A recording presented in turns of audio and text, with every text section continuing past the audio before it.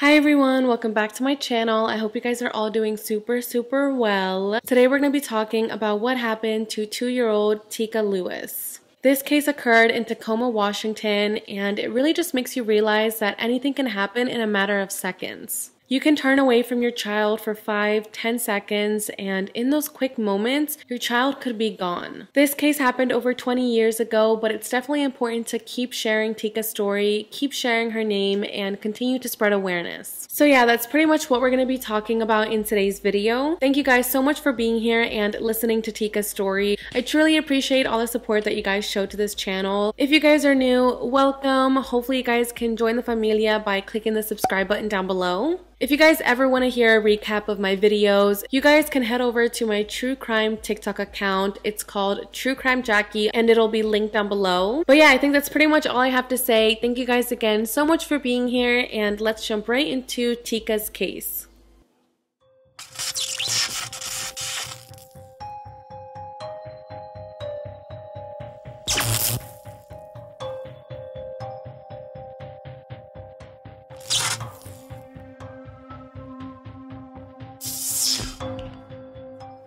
Teekah Lewis was born on July 4, 1996. She was born to parents Theresa and Robert and lived in Tacoma, Washington. Teekah is described as having a quiet and shy personality. She was definitely a mama's girl. She loved being with her mom and would cry if anyone else would try to pick her up. If her siblings, uncles, aunts, grandparents, anyone else carried her, she would immediately cry and want to go back to her mom. That's how close their relationship was. She slept with her mother and always had to have her blankie with her. I believe Teekah was one of five children and she had a younger sister named Tamika, who she absolutely loved. Theresa says that every single morning, Teekah would wake up and tell her mom she wanted some cereal, which was her favorite breakfast meal. So she would wake up, go get her cereal, and then she would rush over to the TV and turn on Winnie the Pooh. She absolutely loved this show and had so many Winnie the Pooh stuffed animals. Another one of her favorite foods was french fries. Theresa says that anytime they would pass McDonald's and Teekah would see the golden arches, she would immediately shout out french fries and then they would pull over and get some. She also really loved eating candy, and her favorite brand were Starburst. Teekah was a shy little girl, but she was also very joyful. She smiled a lot and was just an overall happy toddler.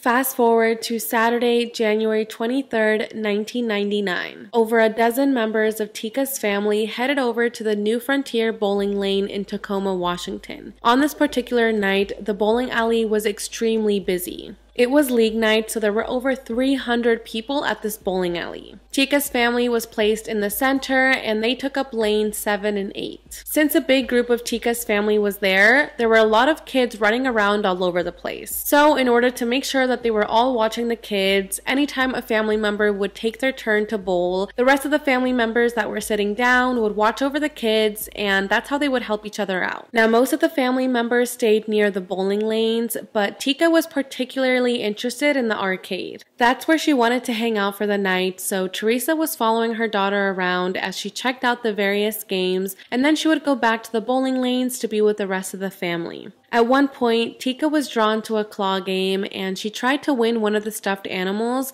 but since she was so tiny, her uncle had to come over and help her win. She ended up winning a teddy bear and gave it to her younger sister. Teekah just really loved the arcade that night, so she would go back multiple times and use some coins that she had in her purse to play the games. Now, based on some reports, lanes 7 and 8 were somewhat close to the arcade, so while Teekah's family was bowling, they were able to glance back and check on Teekah. At around 10:15, 10:30, Teekah sat down in the driver's seat of the Cruisin' World game and began to play. As I mentioned earlier, Theresa was following her daughter around the arcade just to make sure she was okay. So she was with Teekah when she sat down to play the driving game and she told her to just stay put while she quickly glanced over at her family. She just wanted to see how her brother's turn was going, so she quickly looked away for around 10 to 15 seconds. That's it. She turned away for a couple of seconds and when she looked back, her daughter was gone. Theresa began checking the spaces between the games and the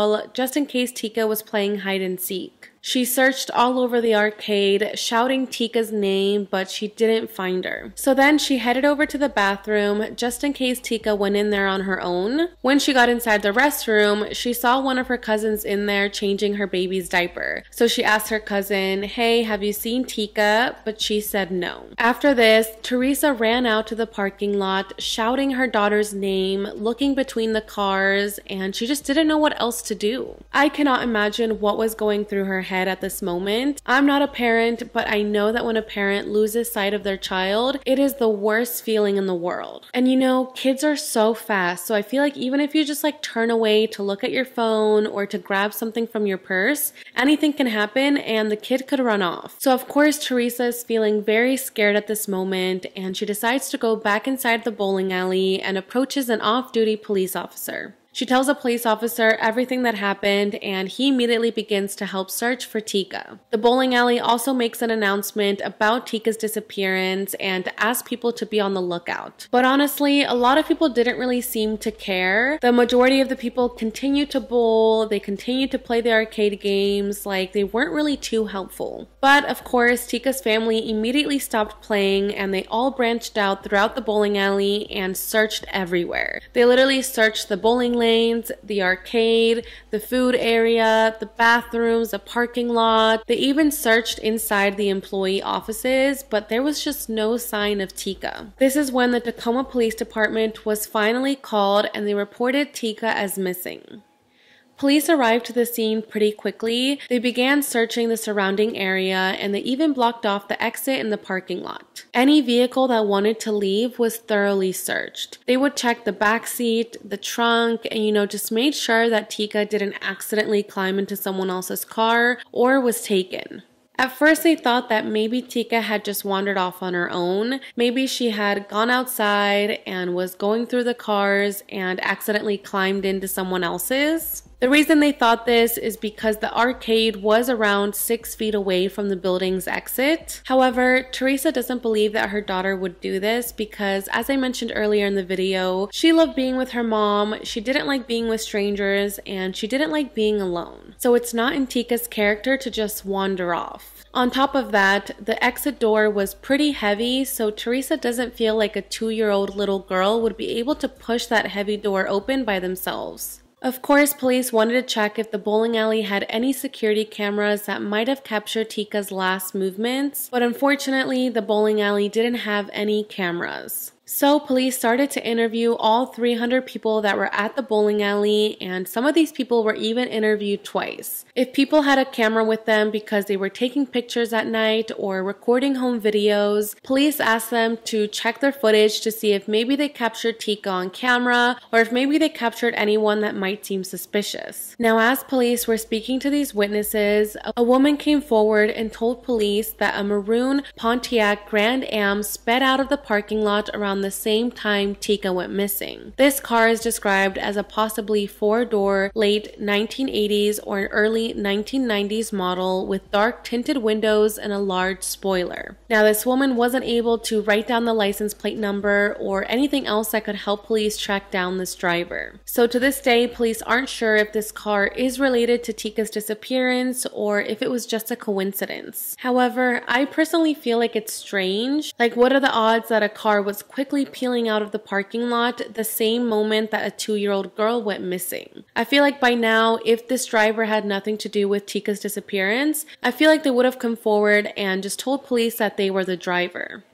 Police led an extensive 15 hour search for Teekah, but unfortunately they found nothing. Now, of course, police had to investigate Teekah's family since a large percentage of child abductions are family related. Teekah's mother, Theresa, took two polygraph tests just to answer as many questions as possible, and she passed both of them. There were also witnesses that saw Theresa with her family the moment Teekah disappeared. The other family members that were there when Teekah disappeared also volunteered to take polygraph tests, and the entire family was just very helpful. Teekah's father, Robert, was actually incarcerated at the time, so there's no way he could have abducted her. So, within days of her disappearance, police were sure that this was a rare case of stranger abduction. Now, although Teekah did not like to be picked up by strangers or by anyone that wasn't her mother, it's possible that if someone did abduct Teekah and they did pick her up, she most likely screamed. But since there were over 300 people inside this bowling alley, it's possible that her screams were muted by the sound of the crowd.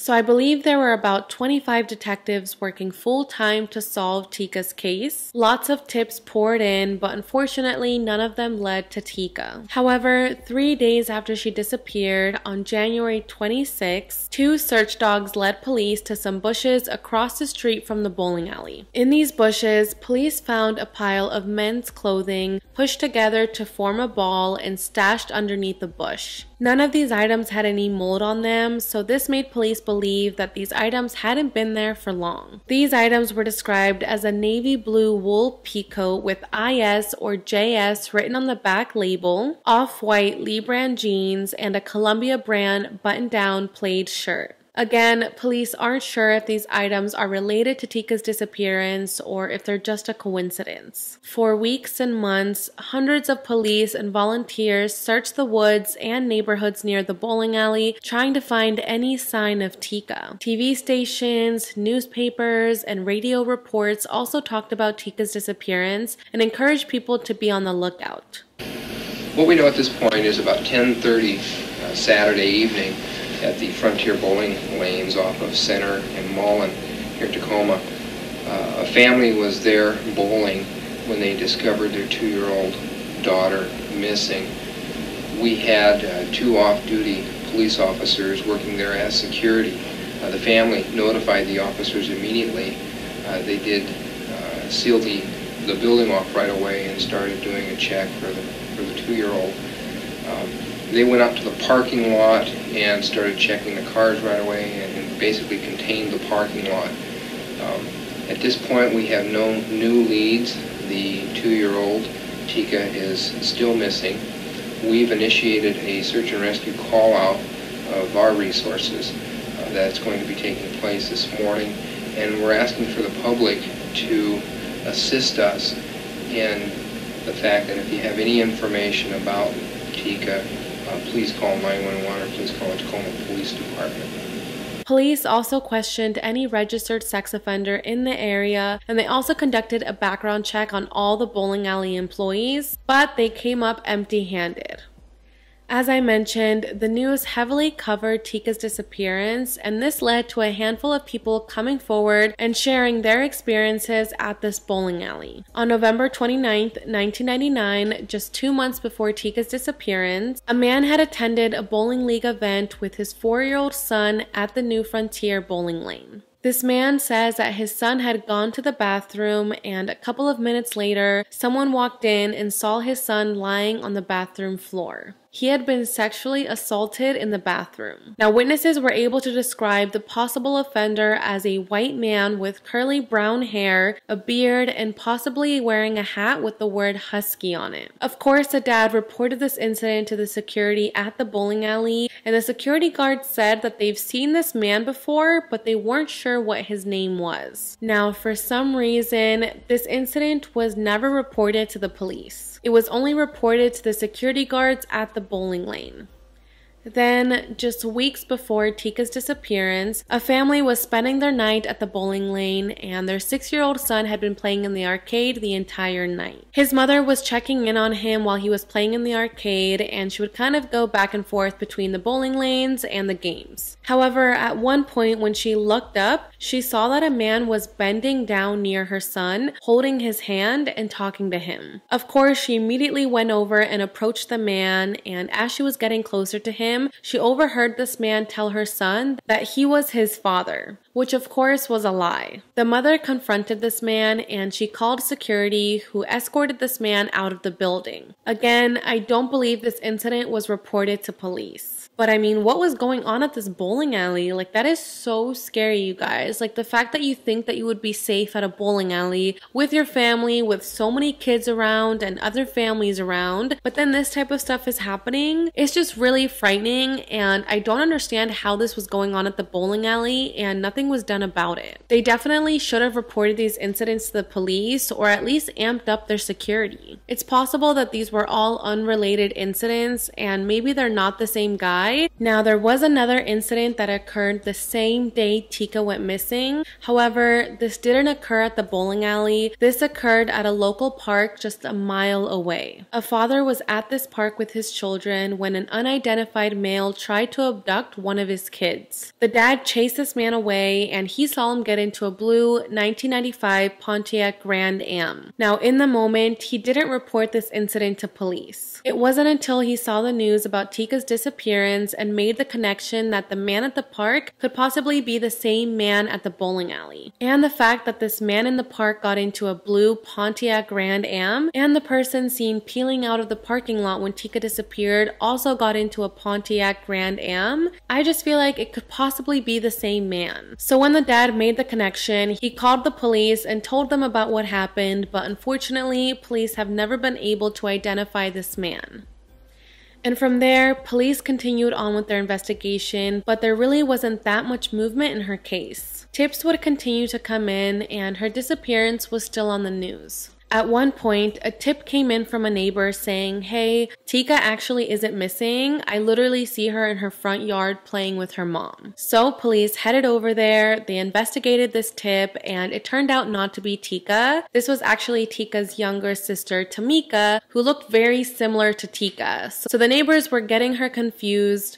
Now, there was a potential break in the case in 2001 when police found the body of an unidentified four year old girl. This young girl was found in St. Louis, and police referred to her as a precious doe. They believed that this might be Teekah, so they submitted her DNA to do a test. But when the results came back, it determined that this was not Teekah. Precious Doe was later identified as Erica Michelle Marie Green, who was murdered by her mother and her stepfather. That in itself is just absolutely heartbreaking, and I'm glad that she was able to be identified and hopefully laid to rest peacefully. In 2010, Theresa was hosting the annual vigil for her daughter when she received a tip from a man in his 40s. This man told her that he had visions of his daughter and she relayed this information to the police. She said there's a lot more to the story and she didn't really go into details about what his vision was, but the Tacoma Police Department did speak with this man and this led to them digging at the native garden at Point Defiance Park. It's not known what police were specifically looking for. All they said they were looking for was evidence. However, in the end, nothing was found. Of course, Teekah's family was doing whatever they could to keep her name in the news. At one point, Theresa flew to New York to appear on the Montel Williams talk show. America's Most Wanted also did a reenactment of Teekah's disappearance, and the Nancy Grace show also did a segment on her case. So there was a good amount of media coverage on Teekah's case, which I think is amazing. Over the next several years, there were still extensive searches for Teekah, as well as annual vigils to help bring awareness. On the anniversary of Teekah's abduction, her loved ones gather for a candlelight vigil at the site where the bowling alley used to be. This location is actually now a Home Depot, but the family still meets there every single year. For Teekah's birthday, which is on the 4th of July, her mother lights a special set of fireworks and wishes her daughter a happy birthday by releasing balloons into the sky. Her family even helped pass a new bill called Teekah's Bill, which created a task force for missing and exploited children. Their hope is that through this task force, they will increase the effectiveness of a specific case by using the combined resources, knowledge, and technical expertise of the members of the task force. In 2019, the Washington State Patrol unveiled two 19 wheeler trucks with images of Teekah on both sides. The pictures of Teekah are what she looked like when she disappeared and what detectives believe she looks like now. They also put the phone number where you can call to report a missing child or to provide information about Teekah's whereabouts. According to the National Center for Missing and Exploited Children, one out of six children are found due to the public seeing a picture of the child, which is why I think social media is a great tool. You never know who may come across that photo, so that's why it's so important to continue to share these photos. So these trucks were provided by Camway Transportation as part of Washington's Homeward Bound program, which is a program dedicated to finding missing children in the state of Washington. I love the idea of putting missing children's faces on these trailers because these trailers literally travel all over the place. So it's definitely a great way to bring awareness.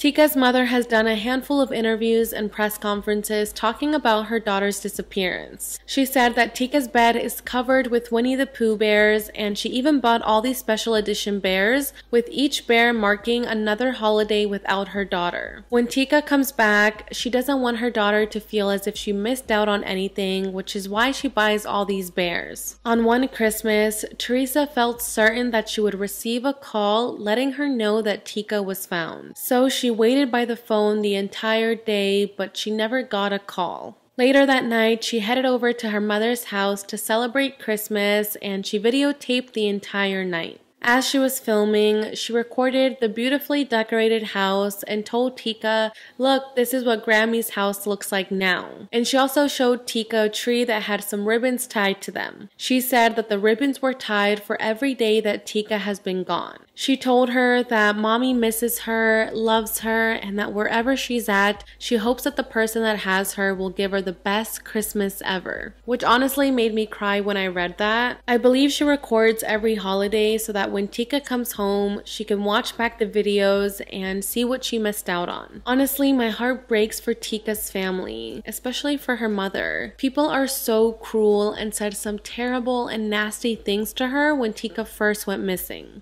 People were blaming her, calling her a bad mother because she turned away from her daughter. I mean, it was just brutal which I think is so wrong. I know I'm not a parent, but I've heard from other parents that it's pretty impossible to watch your child 24 7. Like I said, Theresa literally glanced away for 10 15 seconds just to see her brother bowl, and in that moment, something tragic happened. I really don't think people should be sending her hate. I feel like that's the last thing she needs right now. She literally lost her child and has been through so much. So I feel like Theresa and the rest of the family just needs as much love and support as possible. As for Teekah's father, Robert, he's just as equally heartbroken. He said that on Teekah's birthday and for the anniversary of her disappearance, he likes to be alone and talk to her. For the past years, he has held on to hope that his daughter would come back home. As I mentioned earlier in the video, he was incarcerated at the time Teekah disappeared, and he feels so guilty for that. He feels terrible that instead of being there for her and being at the bowling alley with her and watching over her, he was away serving time. He is completely heartbroken, but he remains hopeful that one day his daughter will come back home. To the people that have Teekah, he wants to tell them that they shouldn't have taken her and that she's not theirs. He wants these people to know that Teekah is loved and missed by her family and that she needs them. Teekah went missing in 1999, and so many years went by without any serious movement in her case. It wasn't until two years ago, in 2020, that there was finally some new movement. This is when a witness came forward and spoke with Q13 News about what he saw. This witness, who the news is calling John, was 17 at the time when him and his family were at the New Frontiers bowling lane. At one point during the night, John had to use the bathroom, so as he was walking over to the restroom, this rude guy bumped into him. This guy was white and had a little girl with him who appeared to be mixed. So John figured that this was the little girl's father and that he was just trying to rush his daughter into the bathroom. But he says that this moment stuck with him because the guy was just so rude. This guy just bumped into John and he didn't even apologize or say anything to him. So John just thought that this was like the rudest guy ever. After this, the rest of John's night went on and everything seemed pretty normal. It wasn't until his family was leaving the bowling alley when they realized that the parking lot was filled with police. They asked police why they were there, but they didn't reveal who or what they were looking for. However, a couple of days later, John was watching TV when he saw Teekah's photo appear on the screen. This is when it clicked for him and he realized that the man that he had seen rushing to the bathroom with the little girl was Teekah Lewis. And that that man was not her father. John immediately contacted the police and revealed this information to the police, and they did interview him, but they never contacted him after that, which he thought was strange. He literally gave them his phone number, his full name, his address, everything, and he expected to hear from them because he felt like his information was very big, but the police never did. We had gone to that bowling alley plenty of times, and it was kind of an area where people would kind of just come there with their families and kids can kind of roam. So I went towards where the restrooms were. This rude guy bumped into me with this little girl.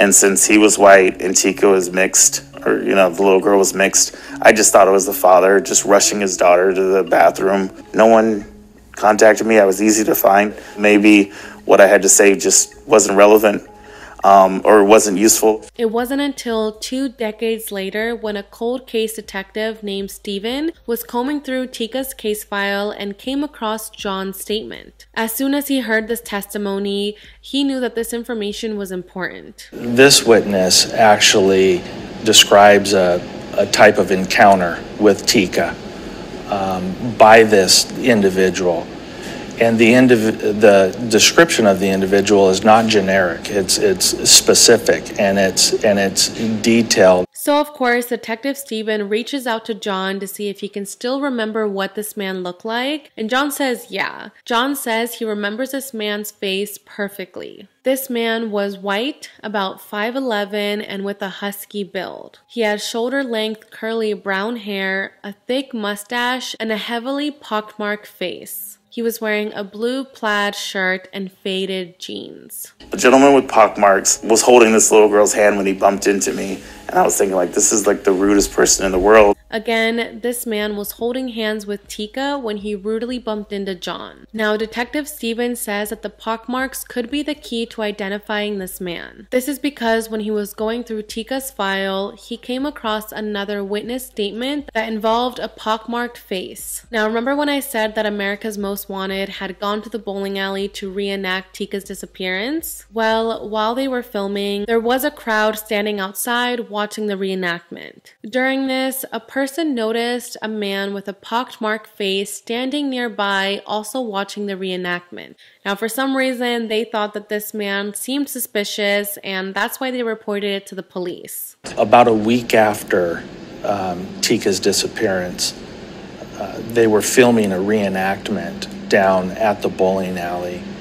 and uh, someone who was standing there watching the reenactment noticed a person with a pockmarked face that was standing there. He was also watching the reenactment, and uh, the witness who called in thought that he was acting strangely. This was back in 1999, so John still hadn't come out publicly describing what he saw. So there's no way that this witness would have known that a man with a pockmarked face had come up in the investigation. And you know, detectives say that the killers or offenders often go back to the crime scene. So I definitely think it's too weird to be a coincidence. Like, what are the odds that John saw a man with a pockmarked face in the bathroom the night Teekah disappeared, and then this witness sees a man with a pockmarked face watching the reenactment of Teekah's disappearance? I just feel like it's not a coincidence, and police definitely need to find this man and thoroughly investigate him.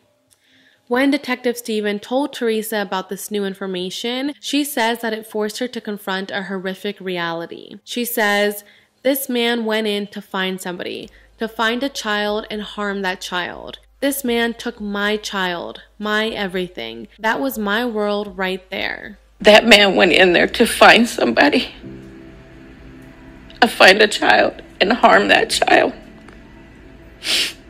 And that man took my child, my everything. That was my world right there. Detective Stevens says that he gets his determination to keep going with the case because of Theresa. She has never given up after so many years. Theresa says that she's lived in this nightmare for so long and she's ready for it to come to an end. She just wants to bring her daughter home. Regardless if she's here or not, she just wants her home and for this nightmare to end. I mean, Teekah has, you know, six nephews and three nieces that she's never met. She's got a baby sister she's never met. And that's all we wanted is for her to meet her family. But right now, we just want closure. Whatever happened to Teekah, we just want to know. So there is an Instagram and Facebook page dedicated to finding Teekah. I will make sure to link those down below so you guys can check them out and please go give them a follow. Her family is very active on those pages, so it would be amazing if you guys could go comment and show them some support. I will also put a link down below for a flyer you can download. That way you can share it on social media. The Tacoma Police Department is still investigating the case and is asking for the public's help in identifying the man they believe may be connected to the disappearance of Teekah. Again, this is a white man about 5'11 with a husky build and has shoulder length brown curly hair. He has a thick mustache and a heavily pockmarked face. They are also looking to find more information on the 80s or 90s Pontiac Grand Am that was seen peeling out of the parking lot the night Teekah disappeared.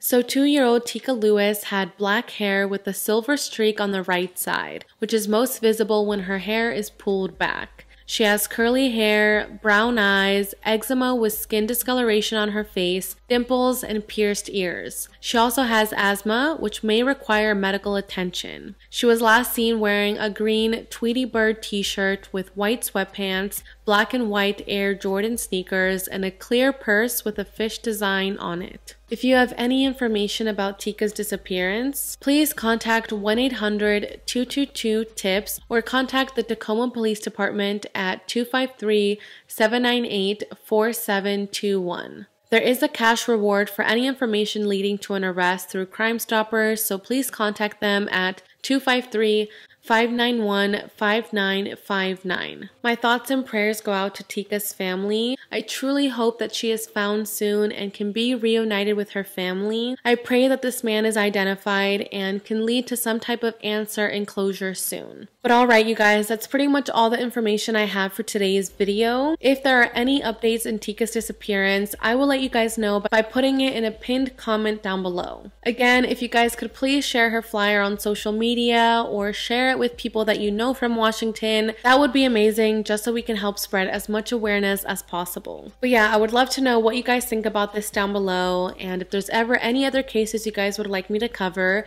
make sure to submit it through my case suggestion form that's always in the description box down below. I have a general request form and I also have a family request form. I know sometimes people submit them through Instagram DM and I try to go through all of my DMs as much as I can, but sometimes they're just frozen. I don't know what's wrong with my Instagram, so if I take a while to respond back, that's why it's not because I'm avoiding you. But anyways, that's pretty much all I have to say for today's video. Thank you guys so much for being here and listening to Teekah's story. Don't forget to subscribe before you guys leave, and I will see you guys in my next video. Bye guys!